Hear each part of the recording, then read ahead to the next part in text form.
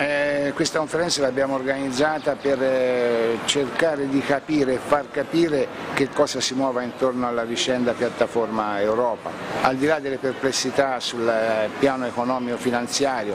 quanti soldi mette lo Stato, quanti soldi dovrà mettere il privato, quanti la Regione, come a quali condizioni. C'è anche il ridicolo balletto dei fondali, quello è veramente una cosa incomprensibile, si parla di 16, c'è qualcuno parla di 18,